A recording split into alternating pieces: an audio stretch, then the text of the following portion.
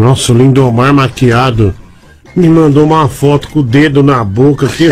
Olha o velho ridículo. Sensual, né, cara? Ave Maria, né?